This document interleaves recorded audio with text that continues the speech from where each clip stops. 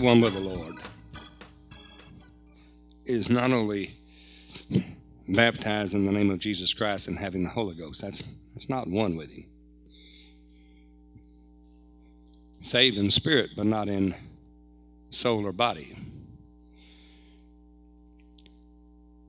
For God hath perfected forever them by the blood of Jesus to them that are sanctified once and for all by the blood of Jesus Christ.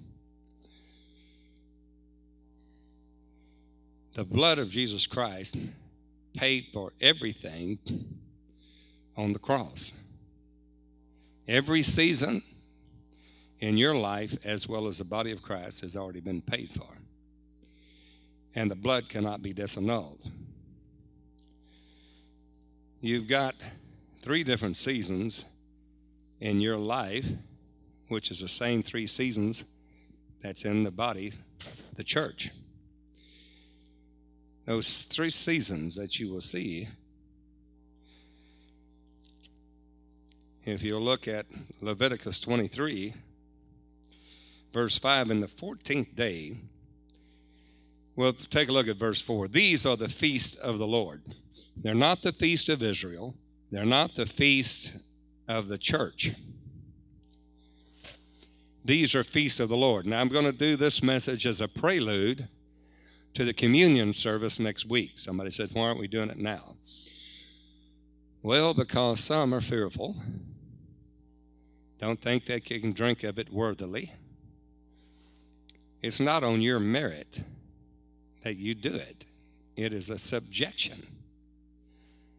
It is a subjection to the will of Jesus, not on your merit. You can't be holy enough. You can't dress holy enough. You can't be holy enough to warrant the blood of Jesus. You can't dress holy enough.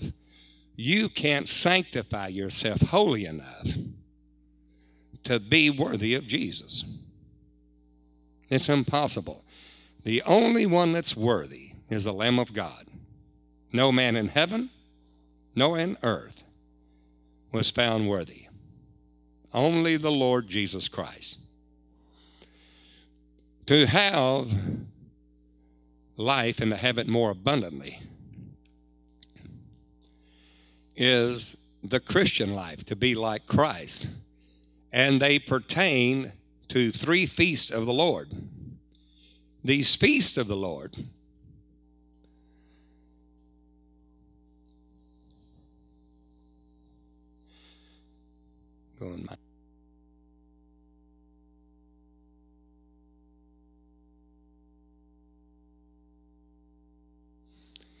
In Leviticus 23, it gives us the feast of the Lord, not the feast of the church, not the feast of Israel, but the feast of the Lord. When we partake of the Lord's Supper, we're partaking of his blood. This is my blood in the New Testament given for you. Another place it says the blood of the New Testament given for you. Blood in the New Testament given for you. The New Testament, for that to have power, for the, the testament or the will, a will is the testament. The New Testament is the new will of Jesus. To do the will of God, you do what the testament says or the will.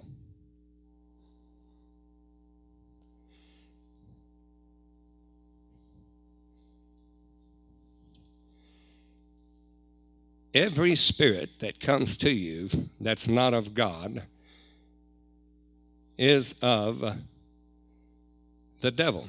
There's only two spirit. Kingdom against kingdom. It didn't say kingdom, kingdom against kingdoms. It said kingdom against kingdom. That's not redundant. Nation against nation, kingdom against kingdom. Nation is all nations that come against Israel. Nation then kingdom against kingdom. There's only two kingdoms a kingdom of his dear son, the kingdom of God, the kingdom, the Holy Ghost, Christ in you, the hope of glory, and the kingdom of the devil. The devil told Jesus, If you will bow down and worship me, and in a moment he made all the kingdoms of the world come before the Lord Jesus. that was a spiritual in the Lord's Spirit tempted there in the wilderness, start of his ministry after he had fasted 40 days. He said, All these I'll give you if you will bow down and worship me. Were they his to give? Yes, they're the prince of the power of the air. But Jesus was going to redeem them back by the blood. The blood covenant. The fellowship and his sufferings. To know him and the power of his resurrection is through the blood. The blood covers everything there is in God. The devil hates the blood because the blood is the life, and Jesus shed his blood. And when he shed his blood upon the cross, and we partake of the Lord's Supper, we do show forth the Lord's death, not the life, his death. Why? Because his blood was shed on the cross. In his death, he saved us. In his dying, he saved us. The blood was shed on Calvary. The skull cap of the whole world, Golgotha. Golgol means to wheel, to roll away. Gilead, Gilead, a heap of testimony. A heap of testimony. And the heap of testimony is the testimony of Jesus. There's no other testimony. The testimony is in the power of the blood. Somebody said, All this I've heard from my youth up. What does it mean? Well, because we have not appropriated the blood. When the lamb was slain, the paschal lamb, it was applied, the blood of that lamb was applied on the lintels, top and bottom, and the doorpost both sides top, bottom, and on both sides. It covered you from head to foot and both arm lengths. And when you walked through that door, everything changed. In the house there, with the blood upon the doorpost and the lintels, from that point on, the devil couldn't get in through the power of the blood. Why would the blood have such efficacy? Why would it have so much power? What is in the blood? For all living is in the blood, the blood. So it's in the blood. For to give the life, for the lamb to give his life, he had to shed his blood. That's the reason when you go to a hospital, the first thing to do is take a blood test. Why? Because it's in the blood that shows a life, and any disease will manifest in that blood. There's an X factor in the blood. Man can make an exact hemoglobin, platelets, everything exactly like the chemicals found in the blood. A red oozy substance looks just like the blood, has the same chemicals on the periodic table, and yet there's something missing. You can't give a blood transfusion with it because if you do, you will kill the other person. Why? Because it's called the X factor. They don't know what it is. That X factor is God.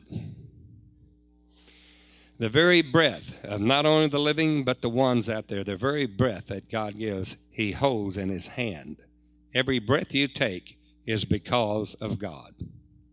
All the substances and everything is held together by the word of His power down here. And the power is in the blood. Somebody said, Why would the power be in the blood? Why would the strength be in the blood? What is the thing that the blood, that the devil cannot come through it? When it says you're filled with the Holy Ghost, it means to smear or rub, to be totally covered. With what? With the blood. From the crown of your head to the sole of the feet, your doorpost and the lintels, from the top to the bottom, and that door, Jesus is that door. When you go in, that sheepfold, no devil can come through that door. But you have a two leave gate. A long time ago, God spoke to me that I was Cyrus. I don't want to be Cyrus. I don't want to be Cyrus. Because Cyrus didn't know him. And that shook me. and I said, Lord, surely this can't be Cyrus. You didn't mean Cyrus. How about Peter, James, or John, or Paul, or I said, Cyrus. So I told Sister Beard, I said, and I was reading 8, 10, 12 hours a day for three years. And I told Sister Beard, I said, she's working her job, paying all the bills. I said, go to the library and get every book on Cyrus you can get. From his birth to his life, his death, everything. Because I've got to know what is this thing about Cyrus. And if you'll take a look with me in Isaiah 45. Thus saith the Lord to his anointed. Verse 45, 1, Isaiah 45, 1.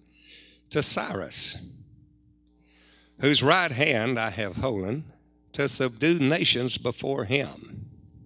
Now, it was not because Cyrus had the Holy Ghost. This is Old Testament. But every king, every prophet, and every priest was anointed of God. So they call the kings, priests, or prophets anointed of God because God places over the kingdom even the basis of sorts. But he did something with Cyrus different from all others because Cyrus gave the commandment to rebuild and restore the kingdom. For the temple to be rebuilt again was a, was a commandment of Cyrus to Ezra and Nehemiah.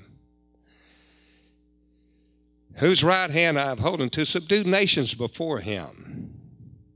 Well, God told Adam, I want you to replenish the earth and subdue it. But it was only for one reason to give God glory. He said, And I will loose the loins of kings. The loin is a strength. Your loins in the Lord is logos. Breastplate of righteousness your loins girt about with truth. That truth is Logos. The helmet of salvation, your feet shod with the preparation of the gospel of peace, and above all, taking the shield of faith, whereby you can quench all the fiery darts of Satan, and taking the sword of the Spirit, which is the Word of God. That's not Logos, that's Rhema. It's what you do with the Word to pronounce it as it comes through you in your two leave gates, your lips the sacrifices of praise, the sacrifice of the calves of our lips. So he takes that temple of Solomon that had a two leave gate. A leave means it opens and shuts, it swings, swings open. It's a two leave gate. That's the oracle. Goes into the ark, the testimony the testimony of Jesus, the spirit of prophecy. And that two leave gate is your mouth. You are now the temple of the Holy Ghost. You're not your own, you're bought with a price, bought with the precious blood of the Lamb. You're going to loose the loins of kings. The loins is the strength of kings to loose the loins, God says, I'm going to take those strength of kings and loose them, unstrengthen them, make them putty, make their knees knock before you. When they take you before kings and magistrate, they give, he gives you a mouth, a two-leaved gate that they cannot gainsay nor resist. Notice the next one. To open before him the two leave gates, and the gate shall not be shut. Now, what does that remind you of?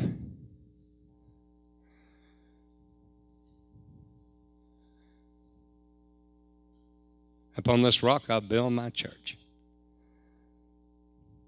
and the gates of hell shall not prevail against it. The gate shall not be shut. The oracle of the testimony will not be shut. As I pondered this many years ago, Sister Beard got every book on Cyrus there was. All the kingdoms of the world came in under him, kings. In every commentary you read, it will tell you that that two-leaf gate was Babylon, and it was the gates to the city. And they always closed those gates to the city of Babylon in the natural. And Cyrus went in there, and if he had taken his army in and those gates were closed, he could not assail the city of Babylon. But the gates were open. And Cyrus marched in, marched in, and destroyed them. Well, somebody said, that's it. That's a commentary on it. No, it's not. You go into commentaries, you're going to get messed up. Let the Holy Ghost speak to you. The two leaf gates there that I want to talk to you about, if you'll bear with me just for a minute to let you see what kind of a temple you are. But you have to believe it. You have to occupy till he comes. It's all on us to guard our little patch and don't let the devil have it. Your, your hand has to cleave to the sword. The battle is on. The devil wants to destroy you. The two leaf gates, he said, I will open before him the two leaf gates, and the gates shall not be shut. Look at First Kings. And uh, this takes us into the ministry of Jesus, not in the Passover, unleavened bread and first fruits, not in Shavuot, Pentecost, in the book of Acts. This takes us into the book of the Revelation in Tabernacles. This takes us into the final blood bought tabernacle feast of the Lord. If you'll take a look at First Kings there, and uh, it's and you take and see that that as Solomon was building this temple, it was in that not the tabernacle of Moses that was dedicated in Passover, but Solomon's temple that was dedicated in Tishri, the seventh month, Ethanim, in the 21st day of the seventh month. Haggai the prophet said, I'll shake all nations, and the desire of all nations shall come. All the gold and silver is mine, and I make the glory of the latter house greater than that of the former. If you take a look there at 1 Kings 6, And he talks about an oracle. He talks about the gates, the gates of the house, the Solomon's temple, and it's, all these temples simply are you. The temple is not in temples of hands anymore, but as you are the temple of the Holy Ghost, you're not your own, but you're bought with a price. We're going to be coming right back to Leviticus 23 in just a minute. And as you look there at Kings, we have Solomon's temple dedicated in the seventh month, which will be correlating with the seventh feast of the Lord, the third season of God, the seventh feast in tabernacles. And we will see that these gates in the oracle, the gates to the oracle, that that will be the gates within the cherubim of glory. And the gate there will be the same, the door, the door to the oracle of Solomon's temple. 1 Kings 6, will be the same gate or door when Jesus said, I am the door to the sheepfold. It is the same as the eastern gate. One reed high, one reed long, one reed broad. A reed is six cubits. Golden reed, seven cubits. What he's saying here is that the gate in the oracle have cedar. Take a look at verse 16. And he built 20 cubits. 20 is the number of redemption. And the sides of the house, both the floor and the walls with boards of cedar. This is the cedar work. Now, why the cedar work? Because cedar, cedar, when in Haggai talks about the desire of all nations shall come, and when you read uh, in Zephaniah, the second chapter, that God will uncover the cedar work. The, why is the cedar work so important? The floor of the Holy of Holies is fir. Now, this is boring you. It's because you haven't read and you don't know, you have no part of it. This is not going to be Pentecost again. This will be more sufferings. Cut me down some, that's too high. Hallelujah. It will not be Pentecost again. Everybody said the Lord told me to take a look at Acts the second chapter and get ready for it. Honey, that's already come. That's already there. We're already there. We've been there for over 2,000 years. there is a higher level glory. Pentecost goes in with type of the schoolmaster in Christ, which was Moses, and the law, which was schoolmaster in Christ. That, that temple of Moses, the tabernacle of Moses, that tabernacle of Moses was dedicated in Passover because it, it answered to the Passover season of God in the church. That's the reason in the 14th day of the first month of Abib, on the preparation, the day before, they sacrificed the paschal lamb. The day before, before Jesus was crucified, where was he? He ate the Lord's Passover. I have desired to eat this with you. And they had a cup. And he broke bread. Devil hates this word. And you got tons of trouble on this thing. He hates this word because it's the next step in glory. It will not be Pentecost again. Passover, he said, Take this bread and eat it, which is broken for you, which is my body, well, what is that bread? John 6 said that bread is not that manna that your fathers did eat from heaven and are dead. Manna, what is it? They ate angels' food. But Jesus said, This is not the bread that you'll eat. The bread that I give is my body that came from heaven. John 6 said, Except you eat the flesh of the Son of Man and drink his blood, you have no life. Now the thing is, what what blood? What bread? And that's what we're going to talk about today. Do we go back and build again the former things, the first principles or oracles of God? The doctrines of baptism, laying on the hands, the resurrection, eternal judgment, this will do if God permit. Let us go on to perfection. Hebrews 6. Therefore, when he said, This is my, this is that bread that came down from heaven, not as your fathers did eat and are dead, but the living bread that came down from heaven, which if a man eat, that living bread is Jesus. It is God Himself. It's the Spirit of God that you partake of. God wants not only your spirit, but he wants to permeate your soul as well to bring his nature in you in the soul realm. Whereby giving exceeding great and precious promises, whereby we're able to escape the corruption of the world through lust, that we might be made partakers of his divine nature. The nature is not in your spirit. The nature is in your soul realm mind, will, emotions, imagination, and intellect.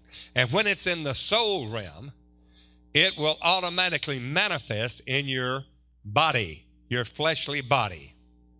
You won't be sick. You will not be diseased. No sickness or devil. Somebody said, Well, it can hit you. I didn't say it can hit, it could, couldn't hit you. But every spirit that Jesus, when he died on the cross, he said that Jesus, how God anointed Jesus of Nazareth with the Holy Ghost, went about doing good and healing all manner of sickness, and all that were what? Oppressed of the devil. Is sickness of God? Bear the burden, brother. God's getting glorified in it. No, it's not. Sickness does not glorify God. Sickness and disease. He was bruised. He was uh, bruised for iniquity. Chastisement of our, of our peace was upon him. By his stripes, we were healed. Peter says, First Peter, you were healed. By his stripes, you were healed. You are healed. So it went from you were healed in Isaiah to you are healed in First Peter. So 3 John 2 becomes into being. For God wishes above all things that thou mayest prosper. That doesn't mean money. Not only in the physical realm, it means in the spiritual realm. That thou mayest prosper and be in health. How? Even as thy soul prospers. That means when you take on the divine nature of God, walk as He walked, talk as He talked, live as He lived, walk in exact footsteps, that you are guaranteed to prosper and be in health, even as, our, as your soul prospers. That's nature. Nature is character. Are you born with character or is character built? It's built. It is experience, and character is built in the person. The body of Christ, He desires not only when you are baptized in the name of Jesus for the remission of your sins, the heart, the conscience, the conscience is purged from dead works. How? By the blood of Jesus. The conscience is in the spirit of man. So it becomes purged from dead works to serve the living God. Now, the communion, the conscience and then the communion allows us to have communion with the Holy Ghost. We get the Holy Ghost. But all of a sudden, does that automatically make God, I don't have any more bad thoughts? All of a sudden, uh, if he was a biggest cusser and a brawler and a fighter, does he stop? If he liked apple pie before, does all of a sudden now he likes matzah? You know, unleavened bread, and that's all he eats because that's what the Jews ate? No. All then, the soul has not been changed. The Spirit has. The Spirit has received the Holy Ghost. The old church of the living God, Peter, James, John, Paul, all of them spoke of sanctify yourself holy, both spirit, and they didn't stop there, soul and body. Why? Because the Holy Ghost then starts moving through the, uh, the person's spirit, conscience, communion, intuition. The more you read the Word of God, it's not held in your brain. It's held, you read, and they said, you can only preach, Brother Beard, for 30 minutes because all that the mind, that's all the mind can conceive and hold and believe. So if you go over 30 minutes, the mind just can't comprehend it. oh, yeah? Well, we're not feeding your mind. Paul preached all night long. The services in God are going to go in the last days just like it did before, except longer. They're going to go all day, all night, all day, all night. There will be a continual church services with no shutting down of the doors. The two leave gates will not be shut. The oracle of God will be going 24 7, 365.